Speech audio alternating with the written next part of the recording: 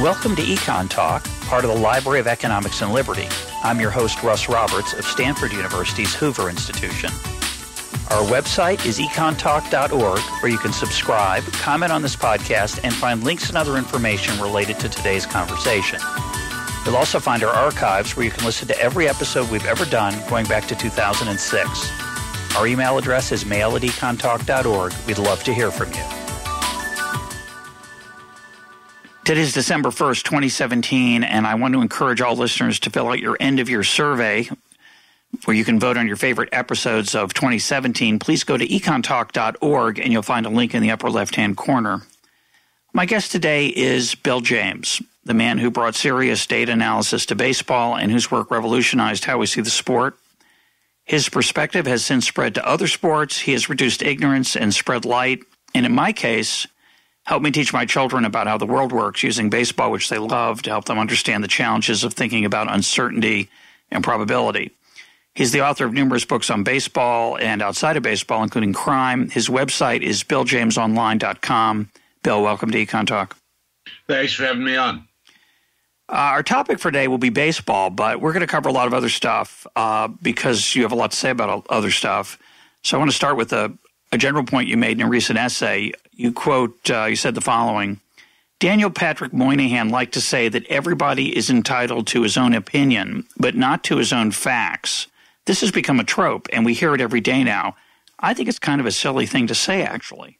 End of quote. Why? What's silly about that statement? Isn't everybody entitled to their own opinion, but not facts? The um, that statement by Moynihan has become a cudgel that people use to try to beat up anyone who disagrees with them about what the underlying facts are. Uh, in the in the tax debate, each side will do uh, the, an analysis of what the effects of this will be, and these are just facts. And if you disagree with their conclusion based on their facts, then you're ignoring the facts. Uh, the reality is that a number of situations in which the facts are absolutely clear cut and the conclusion you would draw from them is clear cut is pretty limited. And the generalization that everybody should share the same facts is of limited use. Well, you make the point uh, that there are there are a lot of facts. Uh, as one listener, uh, Econ Talk once uh, wrote me, and I'll put his name in the transcript. I'm forgetting it offhand, but he said uh, there are a lot of dots in the universe. You can connect them up to make sh- any shape you want, but the question is why'd you leave out some of the other ones? And I think exactly. that's that's the big challenge in any kind of use of data. Exactly. That that's stated better than I could. um, you recently made suggestions for speeding up baseball. Uh, baseball's got a big uh, problem, I believe. I'm a huge fan, uh, but as I get older and I see uh, what young people are interested in and what keeps their attention, baseball appears to be a game that's designed for um, not being popular in the 21st century, other than the fact that you can, I guess, text and surf the net on your phone in between innings and in between pitches. But baseball's very concerned about this, and they're they're trying to speed up the game, and they haven't been very successful. And most of the suggestions have not been very successful. You recently wrote an essay on this, and you suggested some very uh, a very different approach. Uh, why? What was your what were some of your ideas, and uh, why do you think that approach is better than the sort of standard ones of timing people with a clock and penalizing them, that kind of thing? The uh, uh, the problem is that we've been trying to attack a, uh, a we're trying to keep the lawn in order not by mowing the lawn but by pulling up the biggest weeds uh, and that's never going to work because there's always going to be another weed. We're trying to say we're going to control this particular abuse, and it doesn't have any impact at all, never will have any impact at all, because there's always going to be some other abuse. What you have to control is not the uh, a specific problem, but the, the general problem, which is people using time to their selfish benefit within the game, but not to the benefit of the game itself. Um, it's it's often in the hitter's interest to slow things down so that he's in control of the at bat, or in the pitcher's interest to slow things down so that he's in control of the at bat. Uh, but it's not in the interest of the game itself. You have to put an overall control on it of some kind, such as an economic incentive to a team to play their games in a in a uh, an alert manner. Uh, otherwise, you're, then you're never going to solve the problem. And so, what do you suggest? Well, there are a lot of things you can suggest, and the Red Sox don't like some of them, so I better be careful. You're but, a consultant. Uh, You're a consultant to the Red Sox. Why you say that, right? That, that's right. The um, but you could put into the system uh, rewards to a team that played their games in a in a quick fashion. What you can do is you can say that a game which has which has this many half inning breaks and this many plate appearances should be played in this amount of time, right? And if the game is played in that amount of time, then the team receives uh, some sort of incentives for um, alert play. Whereas if a game is not played in that amount of time, then for every five minutes that you go over, there's a there's a disincentive. Uh, and there are a million things you could use as incentives. For example, you could use draft picks as incentives, or you could use disbursements from the from the uh, MLB uh, television funds as incentives, or you could use uh, roster rules as incentives. There are a lot of things you could use as incentives, but you're going to have to, if you really want to solve the problem, uh, you, you're going to have to manage the incentives involved rather than managing the uh, details of it. I, I think you mentioned even home field advantage. Was that one of your ideas? That's right. You could you could have a a system in which if a team just doesn't pay attention to the clock and plays plays slowly, that they could give up a a, a home one or two home series a year, which would be, of course, a tremendous dis- disincentive to slow play. Couldn't it just be simpler? Couldn't it be? Um, uh, and I'm sure people have proposed this. A pitcher takes more than 25 seconds. It's a, a ball is called automatically. A, a batter that takes more than so many seconds a strike is incurred. What's wrong with that? What's wrong with it is it won't work because uh, if you if you punish one delay of game, another one will appear. Uh, there there are many many different ways that a, that a a uh, player can waste time within a baseball game, throwing to fir- throwing to first base, yeah. uh, commercial breaks, the uh, uh batter stepping out, pitchers taking too long, the fielders moving around on the field, defensive positioning. The uh, we have tried since at least 1960 to regulate the problem by regulating one of these or another. But if we can persist in trying to regulate specific behaviors, what's going to happen is we're going to get into fights about whose fault that was.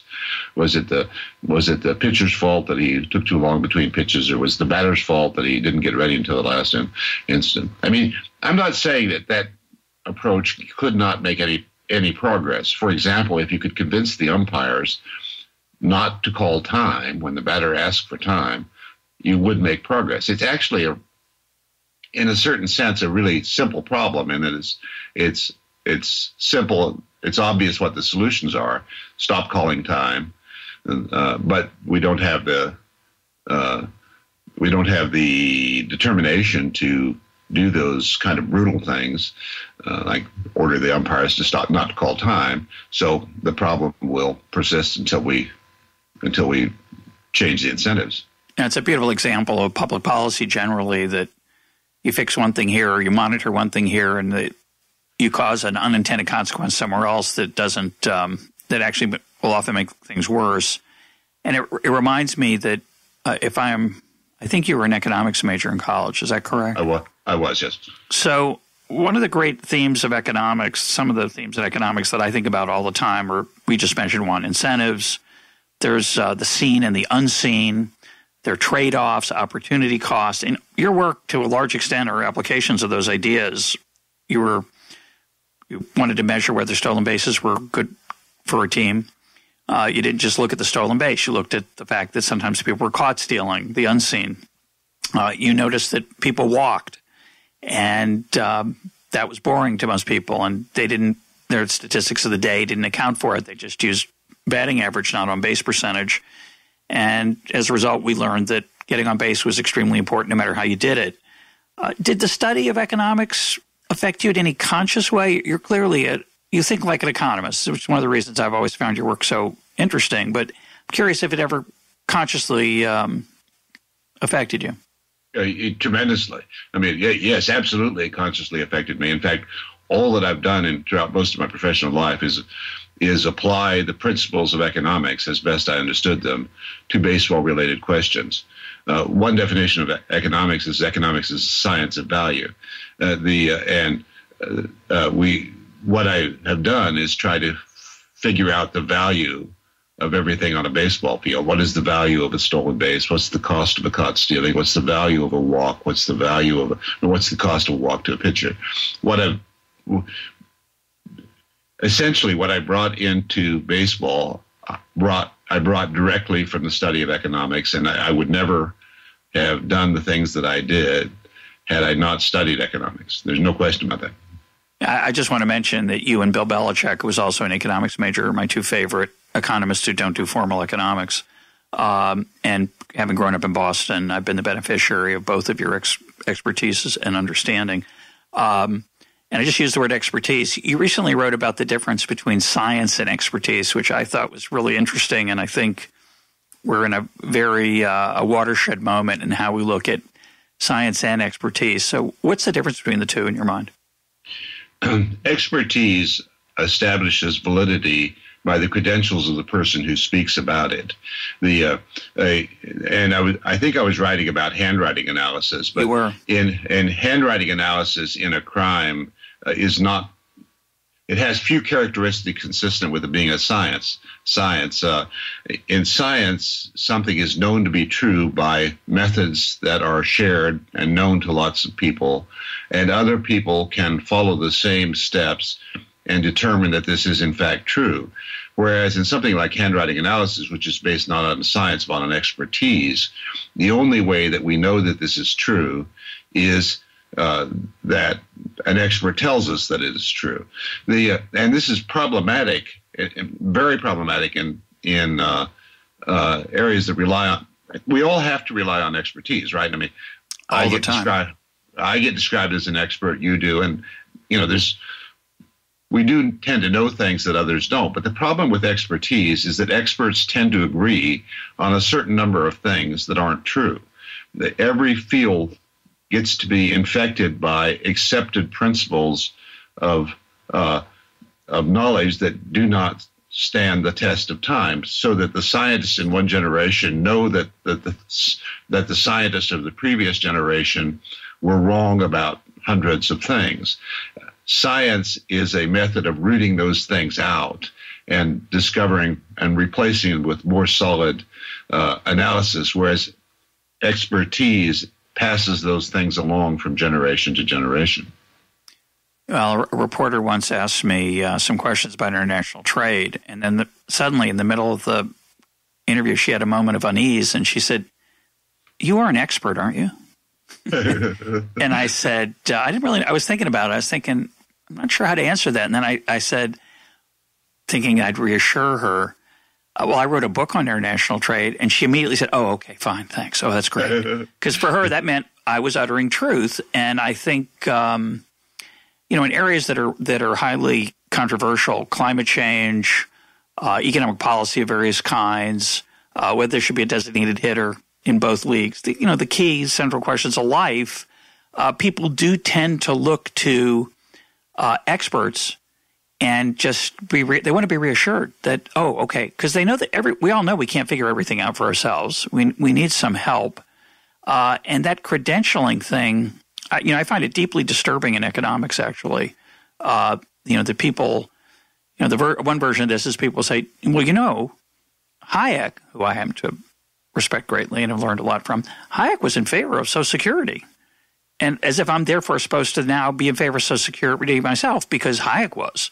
And right. I always say, well, he's not a prophet. He didn't get the his words from Mount Sinai. Um, yeah, I'm allowed to disagree with him. it's, right. it's crazy. And, and, in in a true science, you, you, I think true scientists understand that. If you if a a junior high or or an undergraduate physicist is able to prove that Albert Einstein is wrong about something, then he's supposed to be taken seriously despite his lack of credentials. Of course, it's difficult for that to happen, but it's supposed to happen. And it can and does. Um, and of course, as you say, you know, we did a I did an interview with uh, Chuck Klosterman on uh, "But What If We're Wrong?" because there are thousands of things, as you point out, that we're wrong about right now. We just don't know what they are. It would be great if we could. We just need an expert to tell us which are the wrong things and which exactly. are the right ones. Exactly. Uh, now you're writing about a ransom note for JonBenét Ramsey in that in that story. And what was your conclusion? A, a, lot of people had speculated that that ransom note had been written by her mother. Uh, what was your uh, thoughts on the uh, evidence? It could not be more obvious that it was not written by her mother, and the, the ex, no expert will go into court and swear that it is was written by her mother. But many experts will opine, not in court, that it was written by the mother. The uh, uh, and and the, the problem is that the construction of the letters is identical between Patsy's handwriting and the ransom note. The way that they construct letters is is the same, but the individual execution of that construction is just totally different. So the question then is whether you focus on the construction of the letters or the execution of the letter of the letters, uh, and and the way the letters are executed is different with every letter. I mean, the way she makes her A's is different. The way she makes her B's, her C's, or D's. The the the construction is always the same, but the execution is always different. And is this an example, which is true in economics constantly, of people who want to believe something so they convince themselves that it must be true and only note it and cherry pick the things that are similar? Right. right. you construct a narrative and then you fill in facts that fit your narrative. Yeah, we all we all do that, of course. Yeah. Uh, how did you get interested in crime? It, is it a natural outgrowth? Because is it a is it a search for truth? Is it the elusiveness of, of truth and how challenging it is? I think so. Uh, crime stories are by their nature puzzles because crime. Um, one old definition of murder is a murder is a killing done in secret. Uh, since it's done in secret, it is it creates a puzzle, and puzzles bother me. I've been interested in crime stories since I was less than 10 years old. As soon as I started reading the newspaper, newspapers are full of them. And uh, the way that I tried to figure out the world as a young person was through the newspapers. Now, you've changed how a lot of people thought about baseball. Not everybody. There, there's still some holdouts. Um, and because of Michael Lewis and the book Moneyball, which was an application of your your thoughts and, and insights and analysis, you changed how people think about a lot of things, not just baseball, but uh, people talk about taking a moneyball approach, where, which by which they mean some hidden advantage that's being missed, some opportunity that, that data might illuminate. What's your um, are there areas of, of sports and maybe a baseball where you think that's been taken too far? And are there areas you think are ripe for application that have not been done yet? Well, I wouldn't say that it's taken too far we do have a lot of problems in our area, and one of those is that people discover an advantage and want to rush toward the exploitation of that advantage, often without stopping to consider whether the negatives of doing that might outweigh the positives. Uh, a few years ago, the relevant example was uh, defensive shifts. Uh, once we had good charts uh, scientific charts of where batters hit the ball, uh, people immediately wanted to start moving the fielders to where the balls were hit without stopping to prove huh. that that uh, this was actually going to save more hits. And I was got on the wrong side of that debate because I kept saying, "Let's hold on, let's hold on, let's let's make sure we're, what we're doing is right." But it did. It turned out that the there were more benefits than costs to shifting in a lot of cases. Thus, you know, I was on the wrong side of the issue. But we're in a similar debate now about how soon you go to the bullpen. What is called bullpenning, which means playing the entire game with your with pitchers pitching just a couple innings at a time. I mean, there is an advantage in that, in that a a relief pitcher pitching just a couple of innings has the same advantage that a sprinter does as opposed to a marathoner. You can pitch more effectively in a short burst than you can in a in a more sustained effort. And there's no question about that. The the thing is that can you apply that without limit, without causing yourself other problems that are greater than your benefits? Well, it slows down the game a lot. That yes, the use of the bullpen, right? Because that it can, yeah, it can and has recently. I, I think right. um, that's that's another thing that's going to if you know if we if you regulate the how rapidly the pitcher changes, then you you know that's another thing that consumes the time that you saved. Yeah, they'll, they'll figure that one out easily. Um, that reminds me of a question that's bothered me for a long time. I don't know if you've ever written on it, which is I've often noticed that after a successful, it just seems to my intuition that this is more of a problem in baseball than other sports. After a successful season, uh, World Series run, for example, that the pitchers the year after struggle to be as effective and uh, could be just luck, right? They won the World Series because they they happen to have a good thing of luck, and then it's reversion of the mean. But it's also possible to me that, and I assume this is true, that in situations of high import, crucial at bats, crucial innings, crucial games, pitchers reach back for a little bit extra and, and damage themselves to some extent. You think there's any truth to that? They try harder uh, with the, with certain batters, with certain innings, with certain games. They try harder. It, there could be some some truth to that, but um, pitching is a perilous activity by its nature, and the more of it you do, the more likely you are to encounter some sort of negative event for your arm and take a step backward. So it has not been established that I am aware of that there is a special risk associated with a postseason play, although a lot of people believe that there is, but I don't think it's clearly established. I guess one way to think about it is whether the uh, whether fastball gets faster in those crucial situations. I'm not thinking of quote trying harder, which I think is a bizarro concept for professionals that somehow, you know, I love this when they say they never quit. Well, it's kind of their job to do their job. I don't even think right. it's bizarre that people would say that, but but but rearing back for a little bit extra has always um, seemed to me to be a real thing. But I don't know. I I think it is a real thing, but it's also particularly in baseball, a dangerous thing. But also, you see that in basketball. In in uh, basketball, with the game on the line with two minutes to play and you score tied, one of the things the coach is going to tell the players is, don't don't try to be a hero here. Yep. Uh, the uh, don't try to do something that's not within your skill set.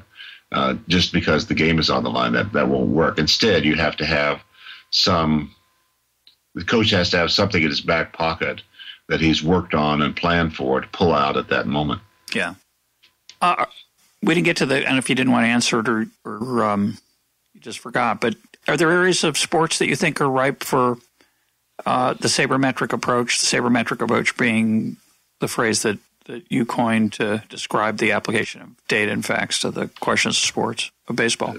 There are so many of them that that it's it's beyond anyone's understanding. That that my belief is that the things that we don't know outnumber the things that we do know, not by 10% or 20%, but by ratio of billions to one. Consequently, when you remove a little bit of ignorance from the world, uh, it doesn't have any impact on the amount that remains because you know it's the, ratio because of the ratio. Just last night, I was watching a football game, and uh, there was a play in which a the quarterback Kirk Cousins threw a flat pass that was tipped at the line of scrimmage and then inter- intercepted. So I went on Twitter and asked my Twitter followers, uh, "What's the data on this? Does throwing is throwing a flat pass because it may be tipped at the line? Is throwing a flat pass more likely to be intercepted than a pass that has some loft to it?" And the answer I got was Nobody knows. Nobody knows it's, ne- yeah. it's ne- never been studied. There are millions of things like that that just, you know, it seem obvious. It's an obvious question. You'd think somebody would know the answer, but nobody does. Do you follow other sports as, with anything close to the intensity that at least that you at least used to follow baseball? And how much you follow baseball now? I assume still quite an intense amount. Yeah, yeah. I, am a huge college basketball fan. The uh, I live in Lawrence, Kansas, and uh, the home of the Jayhawks. I go to every uh, Jayhawk home game. I had I the Jayhawks play in Allen Fieldhouse, which is a historic Fieldhouse. I've seen more than half the games ever played in Allen Fieldhouse. The uh, it's uh, I've been oh. going to games there games there for a long time, and and uh, it's a big part of my life. Well, I think you're five years older than I am. I'm 63. Uh, according to my father, uh, when when I was three years old and we lived in Ames, Iowa, my dad was going to uh, Iowa State for grad school. Uh, we we saw Iowa State play uh, play Kansas, uh, which would have been Wilt Chamberlain's right. That's right. Time. So I guess that was an away game. You probably weren't there, but I like to think we were we were kind of close there. Um, is there anything that you've changed your mind about? and uh, why importance on anything important you've changed your mind about is there anything that that you mocked in your mind at least the traditionalists for the the older approach to baseball that you had to later concede to yourself or to the public that yeah you know they were right about that well uh, there i'm wrong about so many things that it's hard hard to pick one. I mean, every every book is in essence a review of what we wrote last year and say where were we right and where were we wrong and how can we improve on what we did. But a better answer to your question, there's a whole uh, there's a whole area uh, called chemistry and character yeah. that uh, and the the problem with it, and I used to I'm sure, write derogatorily about people who refer to these things. I would still write write mockingly about anyone who pretend, pretended to understand these things. But what I uh, understand as an old person that I didn't understand as a young person is that we, is that these the problem with these concepts is not that they're false, but that they are too broad. Uh, the problem with the the concept of team chemistry is not that it's a real thing, but that it's it's so ubiquitous that it uncover encompasses uh, hundreds of different things. And in order to understand it, we have in front of us a long, long a path that we have to walk of breaking down that that huge concept, team chemistry or individual character, into components and under, gaining an understanding of each of those components before we will have any, before we should be discussing the overarching concepts, if that makes any sense. Yeah, I just don't. I'm skeptical about our ability to measure those in any useful way, right? I, I think, again, as a Red Sox fan, John Farrell and Terry Francona, I think, ran a good clubhouse. That's the impression I got. Whatever that means, as you say, I don't know exactly what that means. Then there came a time when they weren't when Francona right. wasn't running a good clubhouse. Um, evidently, the players ate chicken. I was, and suddenly things went off the rails uh, during between innings or something. Uh, but but it clearly it matters. But I can't imagine we'll ever have much of much insight into it. But do you disagree? Uh, no, ten years ago I would have agreed with you, but now I, I think we can gain a I think we can improve our understanding of those areas. I think, you know, we might be 100 years away from truly having a, a clear understanding of them, but but I think that we could improve those uh, our, our, understanding, and I, th- I think we could. I think I have an idea now, which I didn't ten years ago, about how you could approach those problems. And you're going to keep that to yourself, I assume. No, I've written about it. Oh, okay. Uh, but I mean, I'm too old. I'm I'm too old to benefit from it anyway, right? We're not going to figure this stuff out until I've been dead for a long time. Uh, so you know, there's no no benefit to me. It's like well, I thought you'd share it with the Red Sox and not let anyone else have it. That's what I was thinking. Uh. The uh, it's it's it's too too big a subject. Uh, the Red Sox aren't going to figure it out either. Um, I mean, I mean, Terry Francona knows something, right? It's not anybody who thinks Terry Francona doesn't know anything that we don't know in our field about managing the a clubhouse for to keep the right team chemistry. Anybody who thinks he doesn't know anything is wrong. He does. Uh, but but uh, committing, creating a systematic equivalent of that is a big task. So, one of the things I emphasize on this program is humility uh, with respect to knowledge, especially statistical database questions that appear to be solved by some approach. And you seem pretty good at that too. At least uh, that's my reading of your understanding. You, you're happy writing, I was wrong about this, uh, unlike many professional economists who that phrase has never been uttered by them in their in their lives. Uh, is there anything you thought you were pretty sure about? Maybe even totally sure about that you had to go back on and realize what was I thinking? Well, one thing that we definitely took too hard a stance on in the 1980s. Uh, I say we, but I should say myself. Um, is clutch hitting. Uh, there was That's what early, I was thinking about. Yeah. Yeah. there was early early analysis in sabermetrics which suggested that um, there was probably no such thing as a clutch hitter. And I bought into that analysis and endorsed it and seconded it. And it's so fun because it's so contrarian to the the right. received wisdom. Right. What we know for certain now is that the concept of clutch hitting was enormously overstated by previous generations. Uh, there's no no every anyone who studies it knows that that's that it's not what it was once believed to be. But uh, the conclusion that it doesn't exist at all and that no one has an ability to step forward in a key situation was reached too early by bad methods, and we should have known better. Yeah, it's um, it's the same issue of the hot hand in, in basketball. It's the same right. uh, challenge. Right. Very difficult. It's actually a surprisingly difficult question to, I think, to analyze carefully.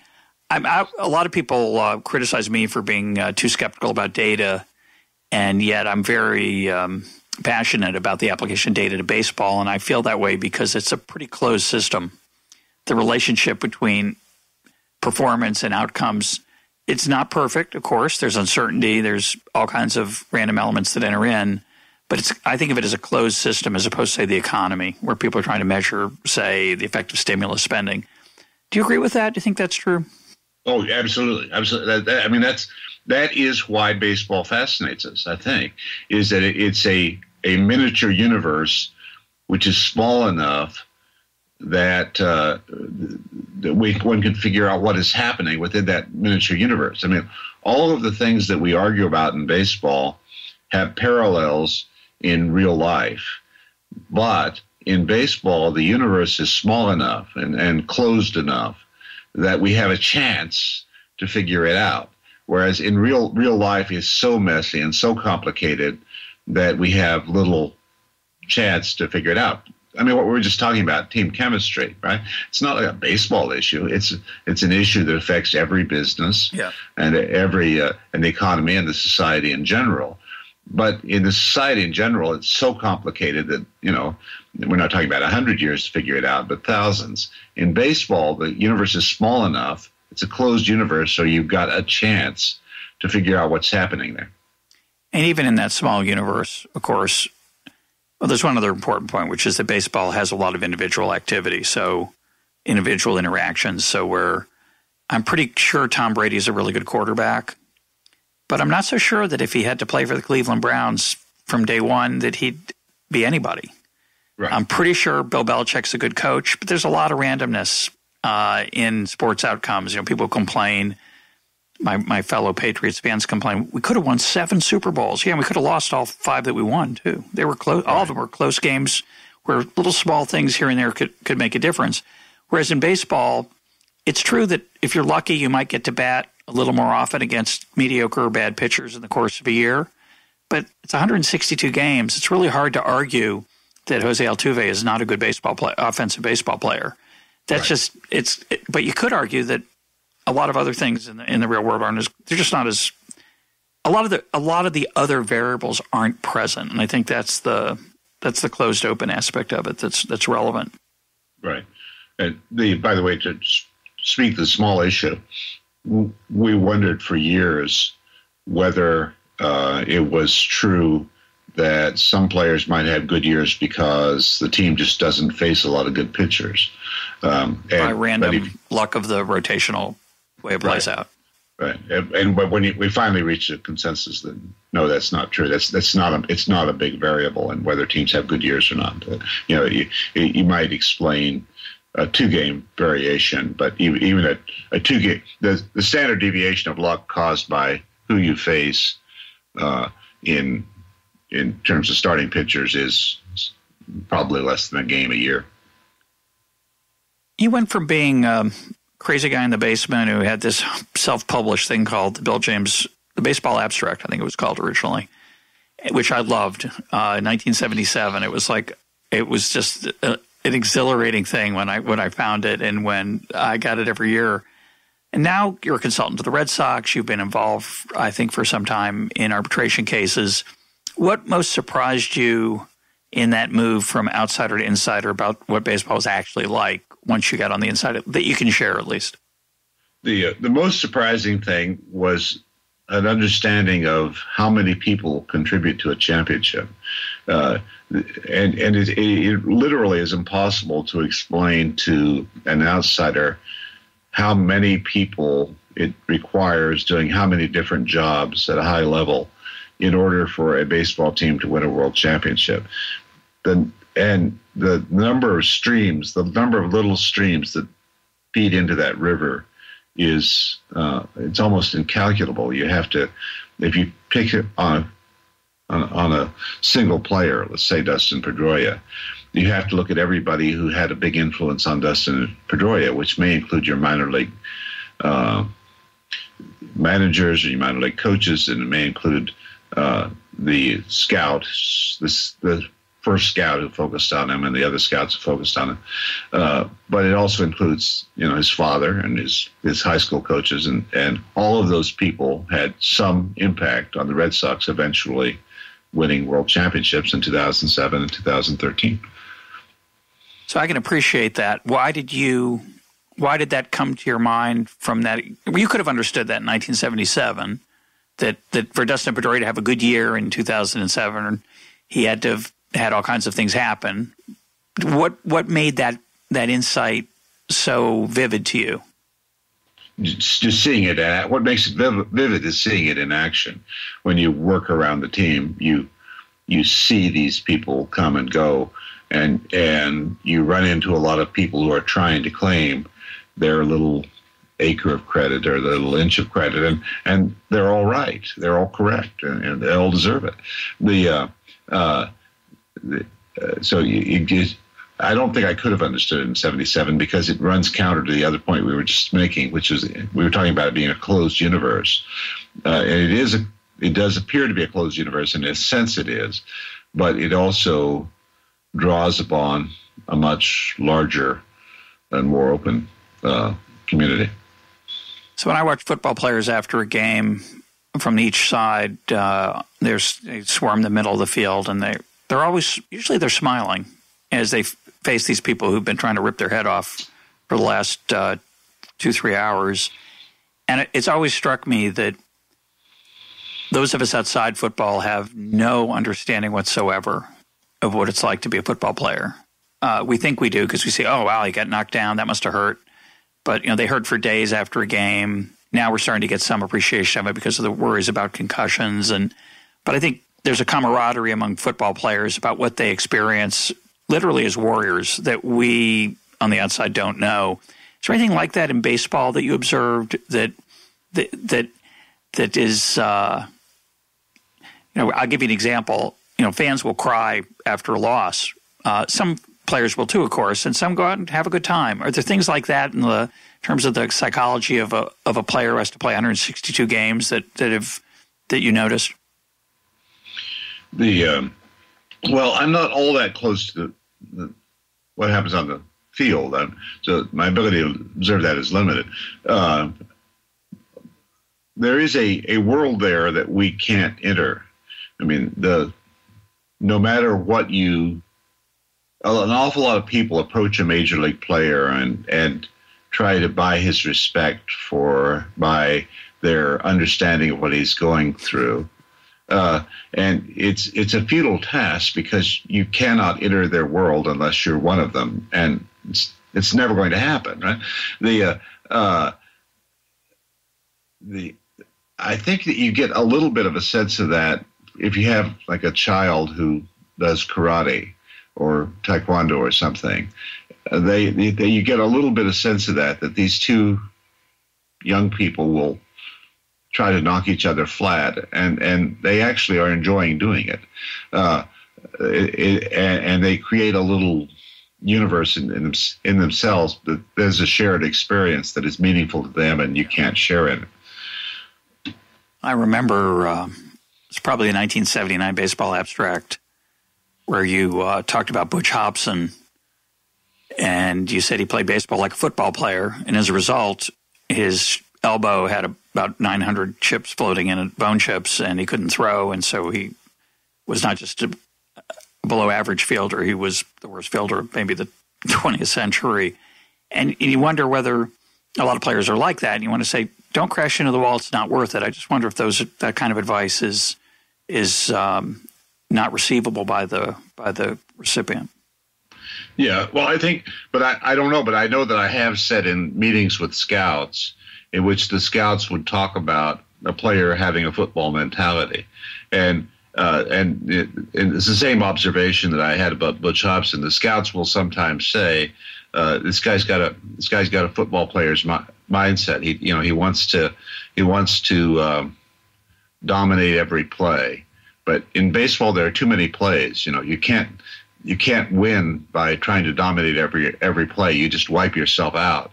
You've got to you've got to look at the long the big picture. Uh, and, and so it, it is an observation that other people make as well. Uh, recently, uh, Joe Morgan suggested that steroid users um, should never be allowed in the Hall of Fame. They don't belong in the club.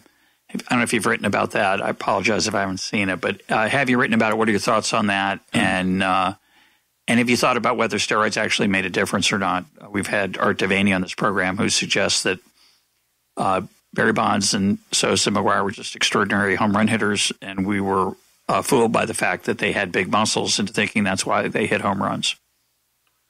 Well, he'd have he'd have some distance to go to con- convince me about that one. I mean, I, I don't have any question in my own mind that the steroids did have a huge impact. Where I think that look, I I'll, I'll end this up by talking about respect for the other other side's opinion on this. But this is the way I see this. Um, rules have to be enforced in order to be rules. If they're not enforced, the essential nature of there being rules is lost. There has to be a written policy and a uh, a specific set of guidelines that say if you do this, we will find you, and this is how we will find you, and this is what will happen baseball in the steroid era didn't have any of those things. Uh, so players could use steroids without any consequence. And a player has massive incentives to succeed. So, of course, players did use its steroids to help them succeed because there were massive incentives to do so. And in reality, there was no rule against it. People come along after the fact and say, that was outside the rules. And it's very much like the illegal immigration debate.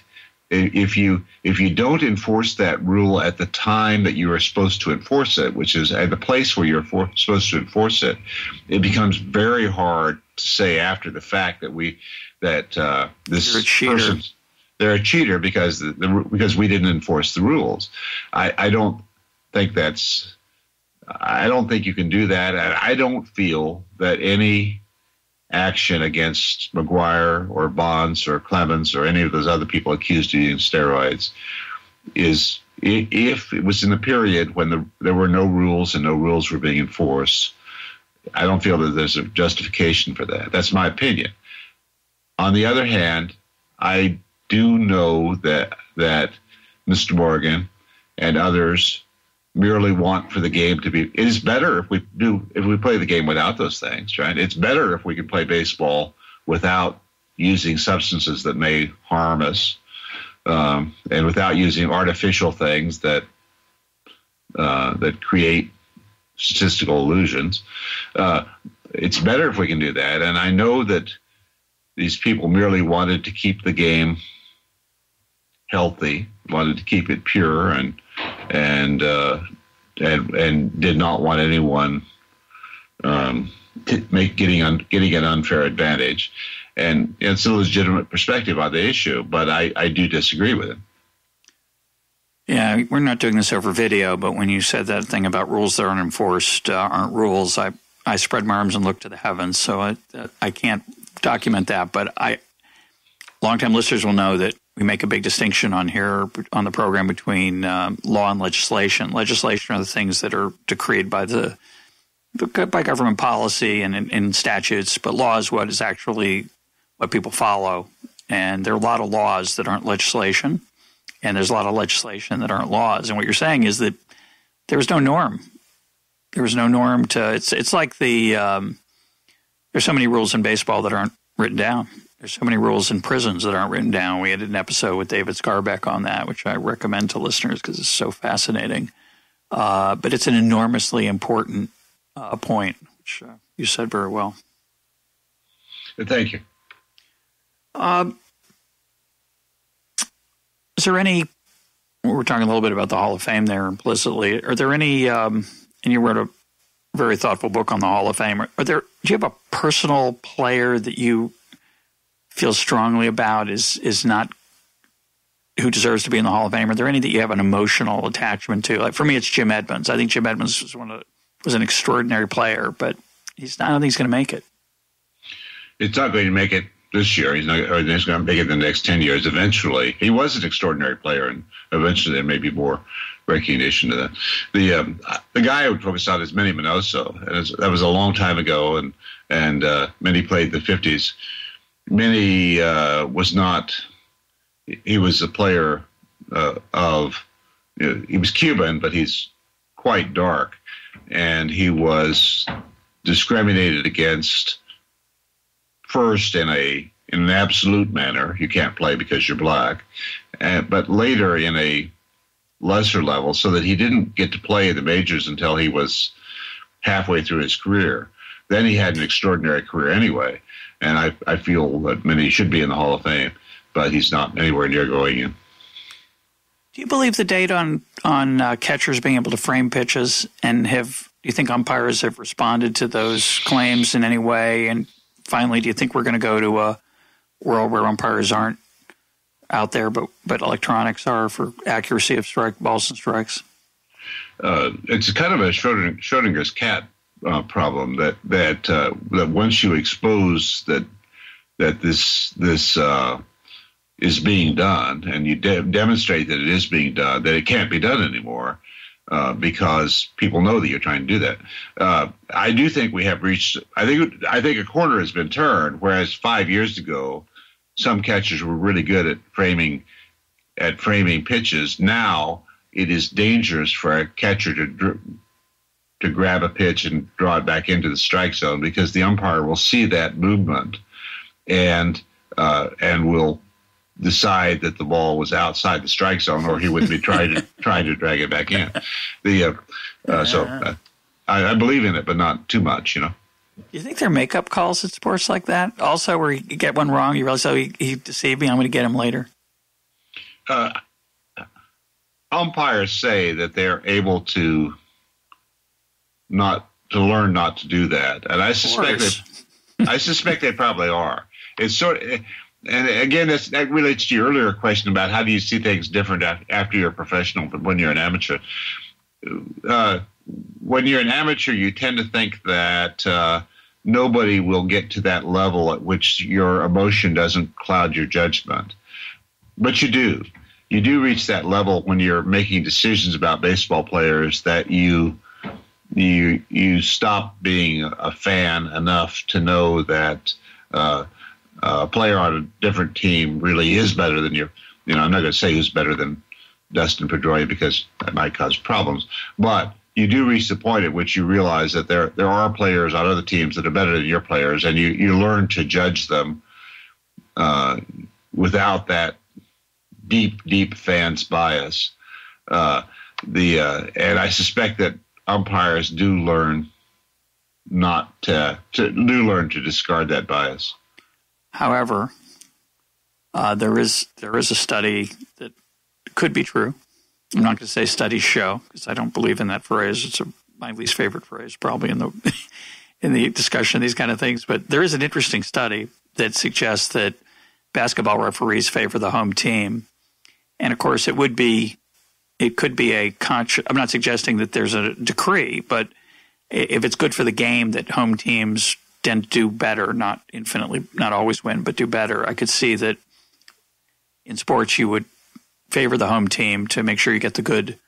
You find that that leads you to get the better assignments. Um, I, I just think it's interesting how at least as from a fan's perspective, how little careful analysis there is of the accuracy of, of refereeing and, and calls. Of course, in football, it's become a big issue with replay, and now a little bit in baseball with replay. And but I think it, would be interesting to go back and look at some of the old calls and see if there was systematic bias there. I suspect I suspect there is. Maybe there isn't. Hey, um, yeah, it could well be the. Uh, um, but that touches on an issue that that is a bugaboo for me, which is journalists will not talk about umpires deciding the game or referees deciding the game.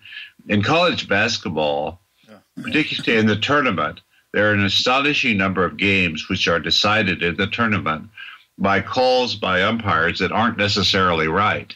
And I don't believe that it's right not to write about those things. The the um, uh, of course, the players are banned by the leagues from commenting on their officiating, which I think is wrong. I don't think they should be banned, and I don't think legally they could be banned if somebody would fight it. Uh, and the uh, but also the journalists cooperate in that, and they think we don't want to make the umpiring the story here, so we'll write about the players, and they skip over the umpiring. But it's not right, and it allows substandard umpiring to flourish because nobody calls it out. Um, uh, so, so I, I, feel strongly about that issue that that's that journalism is on the wrong side of that subject. Well, it's interesting to me about coaches, but co- I think coaches do this for different reason than pursuit of truth. They'll say, "Oh, that call didn't cost us the game. You know, there were 40 other plays, and we could have averted that being a decisive play." And I think they do that on purpose. To for, they would certainly have an interest in doing that to keep their team from focusing on uh, whining as a strategy of course, many coaches do whine incessantly as a way. In soccer, it's a lot of control. I, I think it's really unfortunate, and it's true in basketball too. The the tendency to you know to try to draw a foul, a foul call by doing something that's that's dishonest, deceptive is a better word. It's not dishonest. Um, what do you think of that? Um, for a couple of years, I coached one of my son's little league baseball teams, and uh, they were just, these were just eight and nine year old kids but that actually is one of the keys to having a good year is you've got to get the kids not to focus on the umpiring. I mean, uh, uh, what eight nine year old kids will do is they'll a couple of call will go against them. They'll start complaining about the umpiring, and and you've got to tell them, you know, guys, we are not blaming the umpires for this. This is on you. It's not on them. Uh, and and uh, of course, professionals have been told that since they were eight years old, so they they have a different perspective on it. But uh, I do think that that, an, um, that a, coach has a legitimate reason that he has to he has to keep his players focused on what they're doing rather than what the umpires do. For sure. Did those eight and nine year olds know who their coach was? no, they didn't have a clue. Because uh, you know, I, if I'd been the, the dad of one of those kids, I would have said, "You guys, we're gonna we're gonna mop up this league. We've got the, we've got the greatest baseball thinker of all time, but in our dugout." Uh, you, you you ought you ought to you ought to try that. Uh, there were there were people who I don't know how many of the parents would argue with me about you know this that and the other.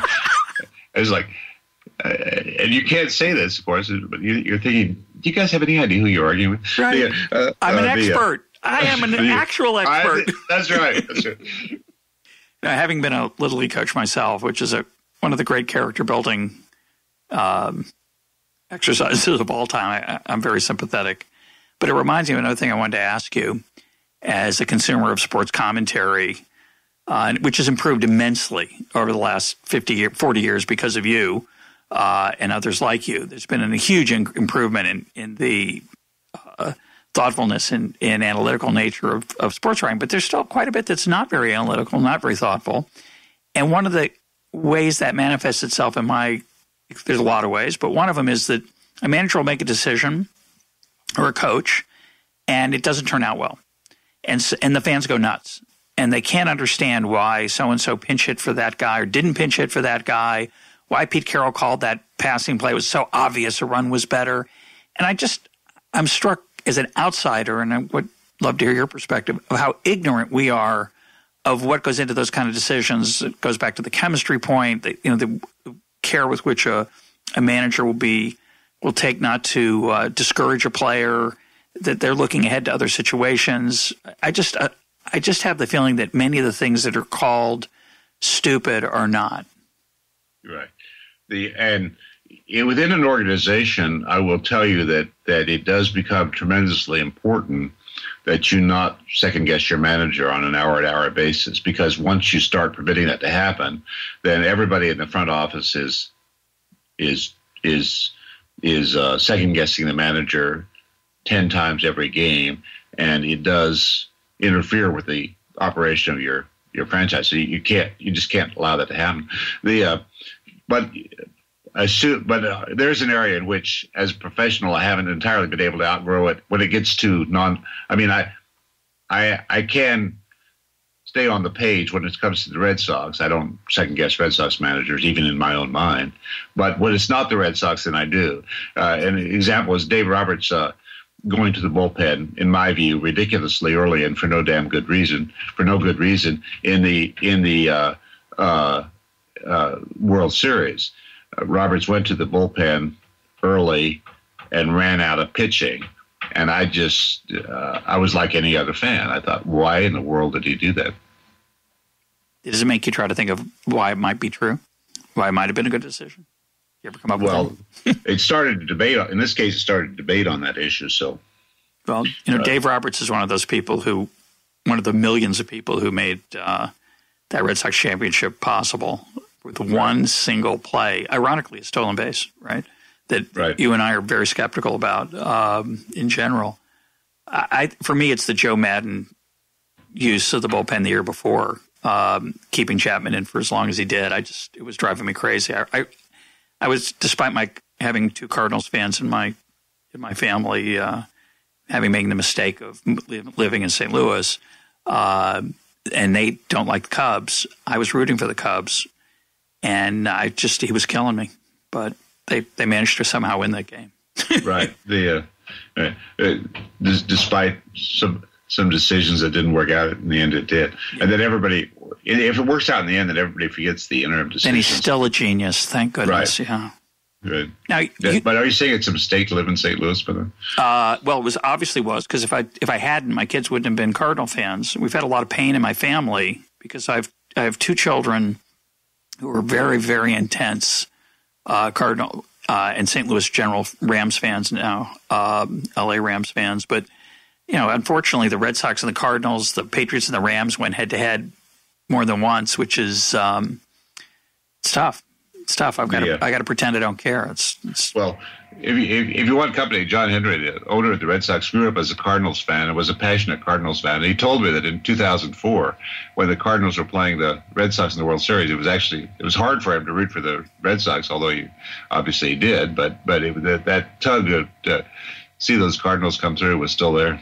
Wow, that's fascinating. Now you're you were at least uh, a lifelong, at some point in your life, a Royals fan. Uh, are you still a Royals fan and just just being associated with the Red Sox make is that hard for you? Well, being a Royals fan was hard, no matter you, no matter where you were.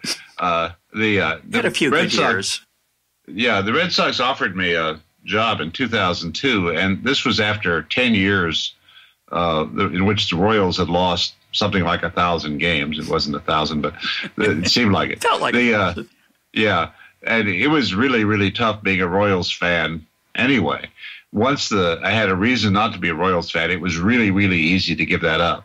Um, the uh, so I I still I mean I I watch the Royals and I root for them because my my mother in law does and she's a sweet lady and you know you like to see her have a good day and you like sure. to see your other friends have a good day, but I don't care that much honestly. Wow, well, that's that's interesting. I, I, wouldn't have thought that. I, if it, so, if it was Red Sox against Royals, you'd root for the in the to get into the World Series. You'd root for the Red Sox. Even, or do you care Sox, about anybody? I might, maybe you don't have any teams you care about. No, no. If the Red Sox fired me tomorrow, I'd still root for the Red Sox the rest of my life. Oh. It's just it's it's uh I'm I'm committed. Okay.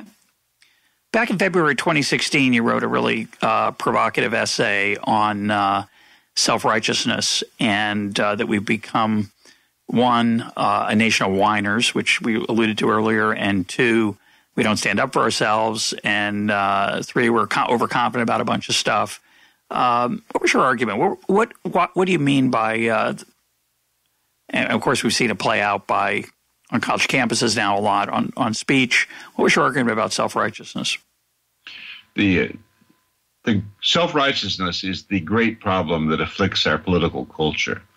Uh, and the, the, problem is that uh, large numbers of people on both ends of the political spectrum are so convinced that uh, that they are correct and that failings to see their correctness are moral failings that uh, we ha- are, have lost much of our ability to communicate from one end to the spectrum to the other. And there's no justification for it on either end None of, none of us understand the world. The world is vastly more complicated than the human mind. No one understands whether these policies are going to have the intended effects or whether the unintended effects are going to be greater than the intended effects. No one knows the answers to those questions. And the people who are convinced that they know the answers to those questions are just wrong. Uh, and uh, it's become a huge concern because people are so angry based on their self righteousness that we are that anger repeatedly expressed, anger building on anger, building on anger, eventually leads to violence. And we need to get people to back away from the conviction that they're right and see that they may be wrong, not about something, but about everything. My guest today has been Bill James. Bill, Thanks for being part of Econ Talk. Thank you very much for having me on.